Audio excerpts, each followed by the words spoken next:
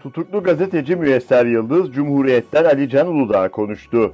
Biat etmiyorsan ya teröristsin ya da casus diyen Yıldız, tutuklanmasının bir amacının dijital arşivini ele geçirmek olduğunu vurguladı.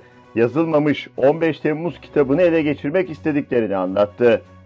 İktidarın medyanın büyük bölümüne diz çöktürdüğünü, tehdit edenlerin kaleminden başka bir şeyi olmayanlardan korktuğunu ifade eden Yıldız, bizlerin tüm imkansızlık ve baskılara rağmen gazetecilik yapmamızı kabullenemediler dedi.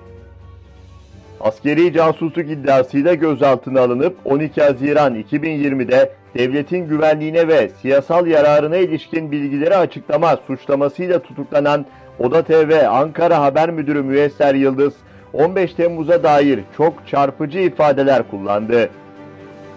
15 Temmuz büyük bir muamma ve görünen o ki birileri bunun daha uzun süre muamma olarak kalmasını istiyor.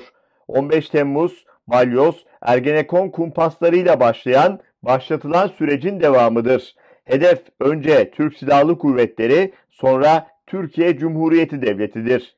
Bu coğrafyadaki en büyük güvencemiz TSK'nın milli ordu olmaktan çıkarılıp emperyalizmin uç karakolu yapılması ve ihraç ürünü haline getirilmesidir. Balyoz Ergenekon'la TSK'nın beli kırıldı.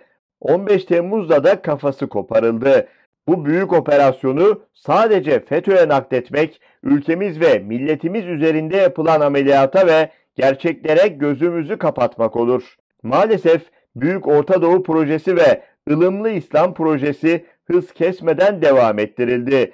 Bu projelerin gerçek sahiplerinin tam adı konulup işbirlikçilerinin tamamı ortaya çıkarılmaz ve bunlarla ciddi şekilde mücadele edilmezse ülke ve millet olarak daha çok bedeller ödeyeceğimizi düşünüyorum. Gördüm ki çok şey kamuoyuna anlatıldığı ve sunulduğu gibi değil.